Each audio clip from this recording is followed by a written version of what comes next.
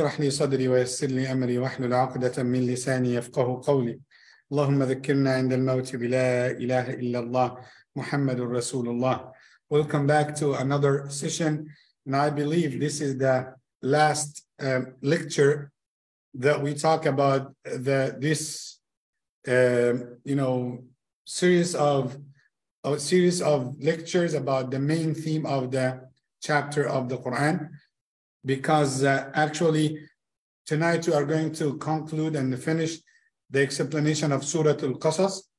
And we will pause here inshallah Rabbil Alameen waiting for inshallah after Ramadan and after Eid then we continue with Surah Al-Ankabut inshallah.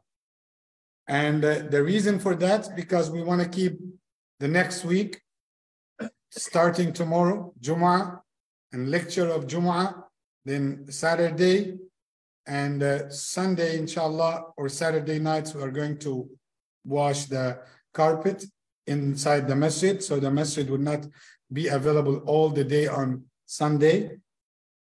Back to Monday for Fajr, then Tuesday with the online lecture, then Wednesday, we will talk all this time about how to prepare ourselves for Ramadan. Almost the entire week to cover this topic and the rules related to the fasting ahkam, the rules of fasting.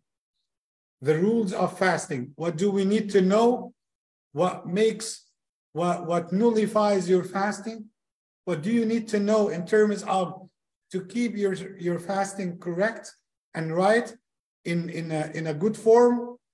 Lots of things, inshallah, starting tomorrow from the Jumu'ah time, inshallah Rabbil Alameen. We are expecting that we will start our first Taraweeh by Wednesday night. So Wednesday night, inshallah, it's with like a uh, like very high perception that it will be a, a percentage that will be, inshallah, the first night for the Taraweeh. We will keep inform you and announce the, you know, with the video and WhatsApp uh, uh, broadcast to keep in touch always, alhamdulillah, Rabbil Alameen. So let's focus tonight on Surah Al-Qasas to conclude the surah, inshallah, Rabbil Alameen. You know, we finished yesterday by the story of Musa alayhi salam and how Allah had destroyed uh, Fir'aun and his soldiers. And while Allah highlighted in this surah what was the crime, the mistake, the disobedience that Fir'aun made. And we said, count many as much as you can. Arrogance, disobedience, claiming the, the, the, the divinity, killing the, slaughtering kids, raping women, like whatever. He did everything. He oppressed people. He asked them to, to obey him. So, and but there is a story, that there is a gap after the surah after the story of Musa till the end of the surah, we cannot cover all of that. We cannot take the rest of the month of Ramadan just to finish surah, the rest of Surah Al-Qasas. But there is a story I cannot in, like neglect. I cannot like pass by the surah without mentioning it because it has lots of benefits actually. This story of the story of Qarun, and it is only mentioned one time in the entire Quran. So if we left Surah Al-Qasas, there is no possibility to meet it again at any surah. So if I finish these lectures, I feel myself like I, I had shortcomings here. I no, I made a mistake. I supposed to mention that story. Who is Qarun? Qarun was amongst one of the members of the people of Musa alayhi salam. He was a Muslim. So you are talking now about someone who was a Muslim. A Muslim in the general definition. Because Musa was Muslim, Isa was Muslim, Muhammad وسلم, was Muslim, Ibrahim was Muslim, Joseph was Muslim, Aaron was Muslim, under the definition of Islam is to submit yourself willingly to the commands of Allah. Under this definition, all of them were Muslims. So Qarun was one of the people of Musa. So he saw what happened with Musa alayhi salam. He witnessed by his own eyes the miraculous signs. Number three, he saw how Allah had destroyed Fir'aun and his soldiers. And he saw the power, the authority, the greatness of the Prophet of Allah, Musa alayhi salam. And some narrations, and that might surprise you, some narrations said that he was from the family of Musa alayhi salam. And the, some narration said that he was the cousin of Musa, the cousin of the Prophet of Allah. Could you imagine that person after Allah had destroyed Fir'aun? Other narration said that he was in the government of Fir'aun. So he was amongst those, you know, before the da'wah of Musa alayhi salam, he made lots of money because of his connection and he became so wealthy. And I will stop here, I will stop when I come to the description of his wealth. And that, that will that will let us know some people nowadays cannot be like Qarun. Like mention whatever. I don't want to mention names in the lecture. But you know the richest people on earth nowadays, they can, if you just imagined how wealthy he was, so they cannot get close to Qarun. Because Qarun, he was so wealthy to the point that Allah subhanahu wa ta'ala said in the Quran, just the keys of his treasures over 10 men cannot carry it. Just the keys of the treasures.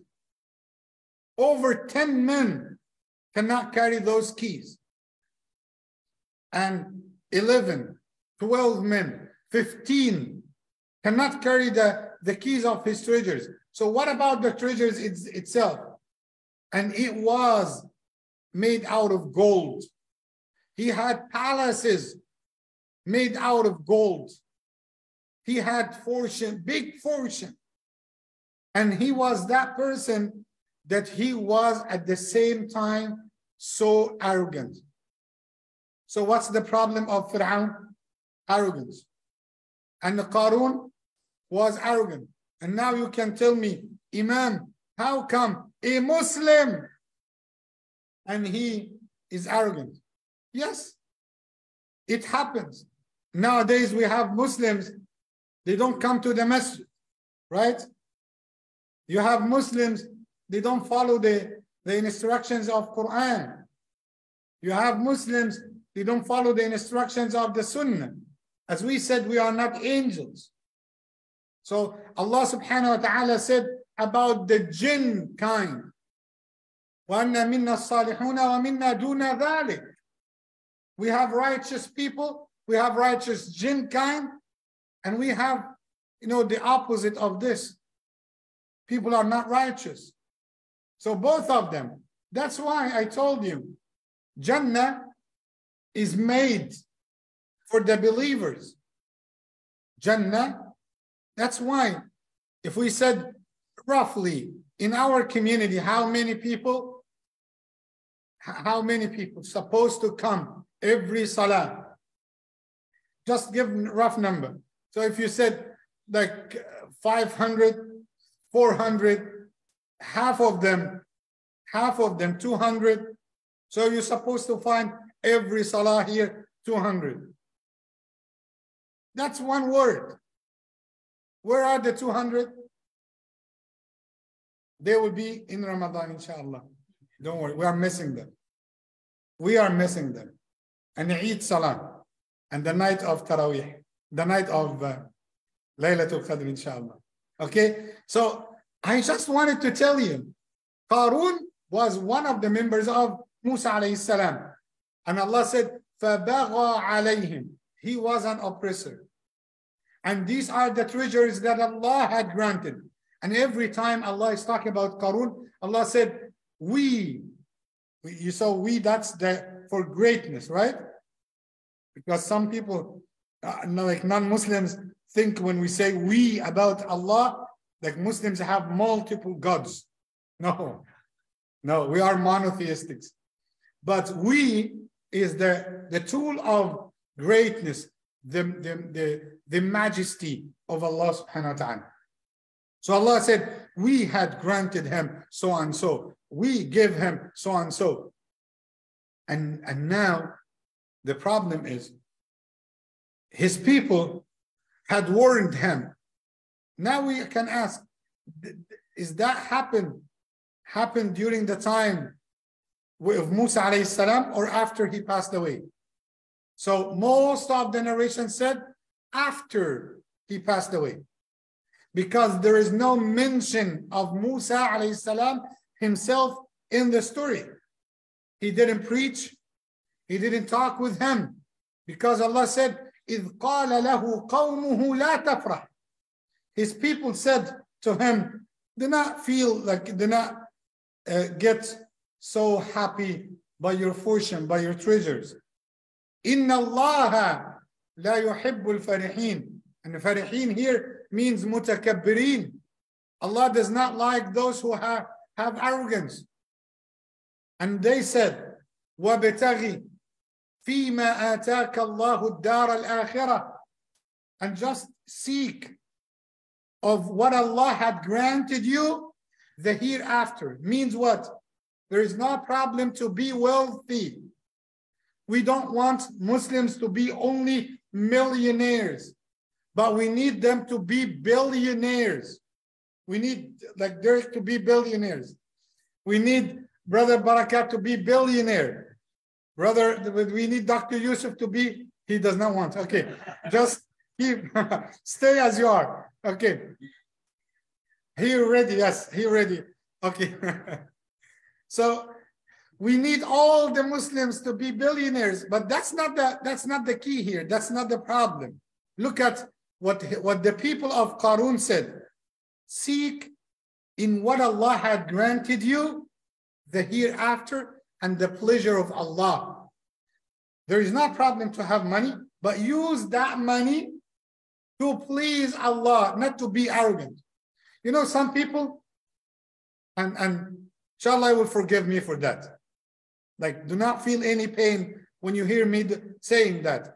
Because there are people in the dunya nowadays, they have no qualifications at all to give any fatwa, to give any decision, to interfere in great issues. They have nothing at all they don't have wisdom. They have nothing except that they have money. And because of that money, people push them to the first straw to take the leadership. And that caused for the ummah, for the ummah to have the corruption. The truth has to be said, has to be mentioned. Who is Bilal. Can you tell me? Who is Bilal? When you say Bilal, what's the first thing? Adhan, right? Adhan. He is the one used to give adhan for Rasulullah. Can you tell me what Bilal had before, what, what Bilal had when he was assigned as Muaddin? He was a slave, right? Before Islam. And he was poor. Habashi he wasn't Mekki. He was Habashi from Abyssinian. And he wasn't a, a family relative of Rasulullah. He has Ali ibn Abi Talib. Right? He has Abu Bakr and Umar. He has his he has Al-Abbas, his uncle, Al-Abbas ibn Abd al-Muttalib. So why didn't give it to his family relatives? He gave that authority, the one who will be giving the adhan for Rasulullah in his entire life, Bilal, the one who was slave the one who owns nothing. He's so poor, dark skin, came from Abyssinia, and he's taking that position. You know why? Because Islam is the religion of justice. No discrimination, no segregation. This is Islam. So when you have a brother here giving the adhan, and he is like he he's not used imam imam so why you give him the adhan you know you know you see how he pronounces you see how he talks you see he is not used to that like uh, he, his voice is vibrating it's not your issue just mind your business mind your business that's it islam is the religion that made every, all people are equal. And that's not my house or your house. That's the house of Allah. And the issue here, when Qarun was so arrogant and his people gave him the advice, use that money to build masjids, use that money to, to spend on the orphans. Because I remember a, a, a, very good statement from one of our professors in Al-Azhar. He said, you know what? The problem is that those people who do not have a business trade with Allah, what does it mean business trade with Allah? They don't give. They are so stingy. They do not run for long time, for continuous charity, for the sake of Allah. They have money, but they do not want to spend it. Why? They want to keep all that money for their children, which is great, which something we, Islam is not, you know, opposite to this. Islam, Islam is not against that. But at the same time, you will leave that money and you will die. But do you think that all the records of that money will, will stop after your death or it will continue. It will. It will continue. Because who earned that money? You. And that money will be given to whom? To your kids. If you started something bad before you die with that money, you will get bad deeds. As we have sadaqa jariyah, we have sayyi'ah jariyah. Most of people in the masajid just talk about sadaqa jariyah. Allahu Akbar, takbir, Allahu Akbar, sadaqa jariyah, mashallah, brother. Okay, wait, wait. Continuous charity, we know that. But you have to tell people also about sayyi'ah jariyah, continuous bad deeds. Be aware. If you are subscribing on, on a certain channel, if you are paying monthly payments, and that will continue after your death, for example, if you are sharing something on the social media, if you have contributed with something haram, and people will still, and they will continue get it after your death. That will have you to get bad deeds in your records while you are in your grave. Be aware of that. So now Qarun did not listen to the advice.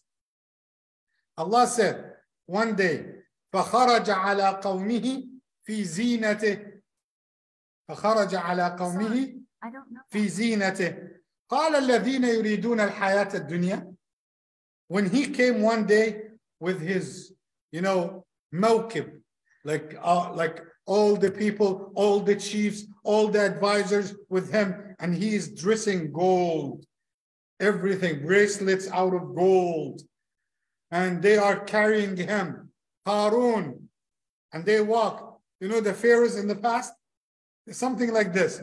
So when they are carrying him, Allah said, the people of dunya, they said, Oh Allah, we wish if you give us like Qarun.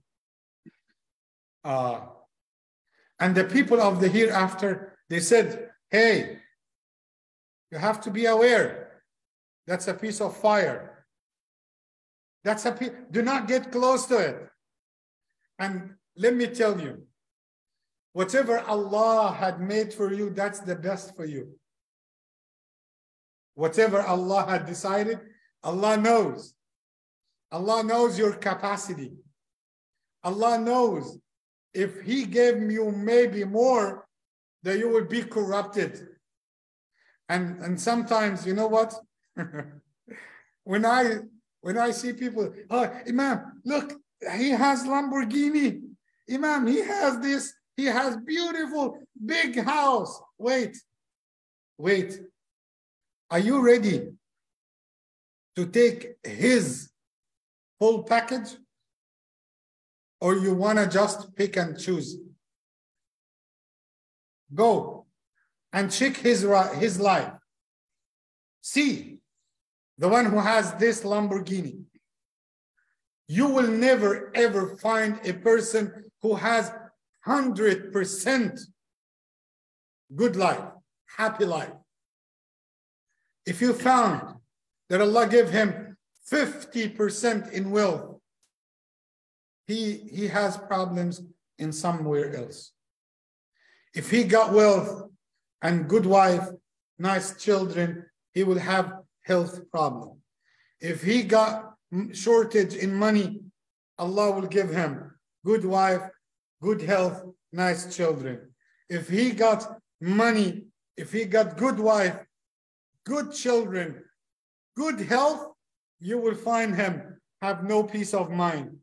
If you get, so this is the reality. Believe me. Like, so I know people, they want to pass by the houses and the families. They want to get the best on the list. You know that? The best on the list. So what's the best on in, in brother Ashmir's life? Okay, let's take it. And what's the best in brother Ahsan's life? Then what's the best in Derek's life? Abdul Basit's life? Muhammad Ali's life? What's the, the best in, you know? And so you collect all the best and you want to get all. If you get this, it will not be, it, it will not be, no, no, no, will not be enough. And that's not the reality of the dunya. You are in dunya. You know what's the word dunya? Dunya, life. Okay, but what's the, the Arabic root of it? Dunya comes from dunu. What's dunu? Low status. Low status. Dunu. It worth nothing. That's why I like to say dunya to remind myself that it's dunya. At the end, it is dunya. It's a very low. It's very low. And when it comes to it worth nothing, it's a very low level in this dunya. So, and they reminded him, hey, do, do not say that you want to like Fir'aun. I told you, the people of dunya will pass by the Lamborghini. Oh, I hope if I got this one. You know what? I hope, yeah, Imam, I hope that I have this fancy car and nice house. Okay. You don't know what Allah is going to take from you if you got this good car. You will get it. But you know what you are going to lose? If I like subhanallah and and and many things, many things that we have, we do not appreciate it. We took it for granted. If I told you, okay, tomorrow, inshallah, brother, I will give you $10 million. Tomorrow. So would you be grateful to me? Yes, Imam, I will keep 100 times a day saying to you, thank you. Thank you. I will make a recording. I will send it to you every day. Okay. You know what?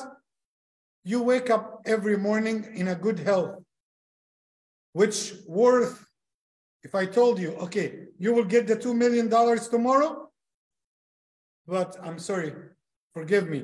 but you will not be able to wake up because you are going to die. Will you take it? Worth nothing. Worth nothing. If I'm going to die, what can I do with the money? Every day you wake up, and that waking up worth more than the $2 million, you are not grateful to Allah. Yeah, okay, well, it's not a big deal, Imam. I woke up like every day. And some people, subhanallah, that's ajib. Allah, that's ajib. They say, oh, Imam, I had a bad day. Oh, what a, what a bad luck. Bad day? You, you just, you have to be grateful to Allah that He granted you another chance every, every time. You know, that happens with me, a lot. Every time when I wake up, then I feel myself, I'm still in the in the in the room. Uh, okay, this is my bed. This is my side. Okay, okay. You know what? I'll, Allah has granted me another chance to see what I'm going to do. It's another chance. Because if you read about where are our souls go while we are sleeping, uh, that will shake your heart because Allah grabs all the souls while we are sleeping. Then Allah will send those who will have another chance and will keep those who will not be able to wake up anymore. Means they are died, they dead.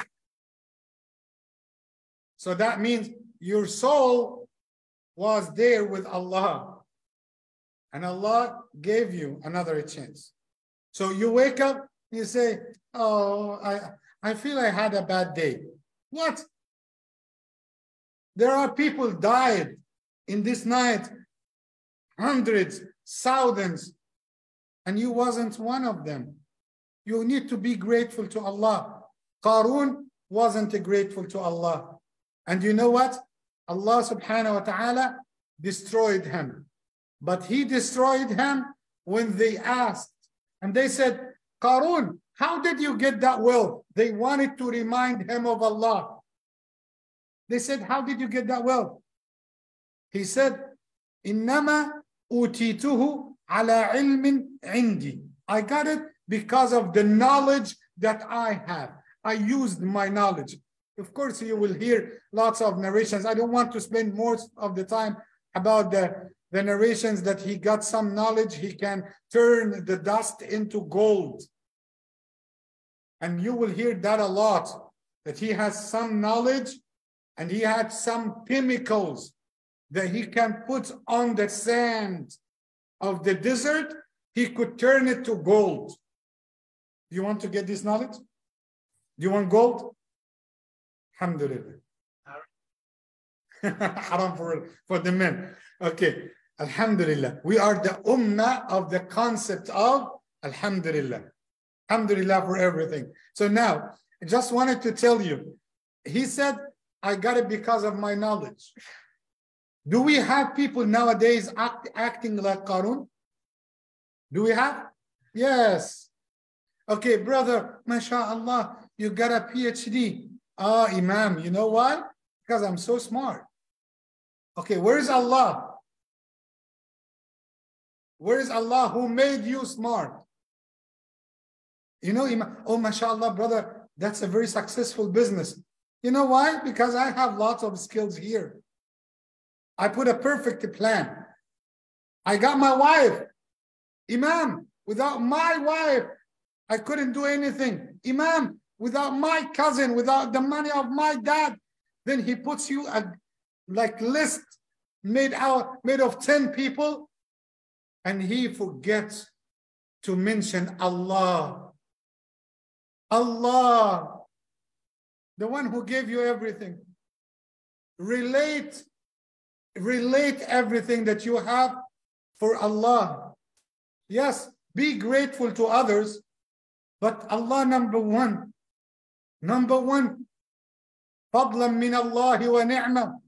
And, and I remember I was so happy when the brother came and he said, هذا من فضلي ها هذا من فضلي Rabbi. That's the because of the favor of my Lord upon me. Remember that. And at the end of the story, Allah said, فَخَسَفْنَا بِهِ وَبِدَارِهِ الْأَرْضِ we had destroyed him. Allah made the, the land, the, the ground to be split and to swallow all his palace, all his fortune, all his treasures. One time. One time. So he got destroyed. Allah had made the, the earth to open, like the ground to be splitted.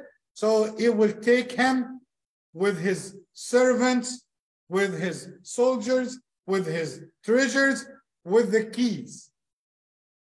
So if you found the keys, don't say that's for Qarun.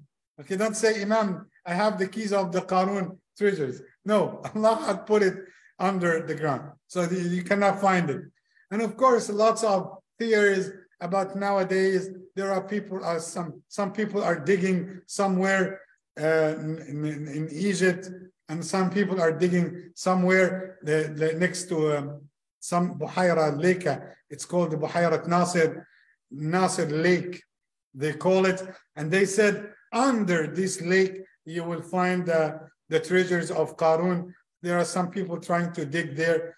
I, I hope that brother Matasim did dig one day. Did you try that one day there? Okay. That's why you have an iPhone, you see? Because you sold one of those keys. Okay. May Allah subhanahu wa ta'ala bless us all. Allahumma ameen. Jazakum Allah khairan. Barakallahu fikum. Uh, I'm sorry for taking too much time, but that was the final for this surah. Barakallahu fikum. Assalamu alaikum wa rahmatullahi wa barakatuh.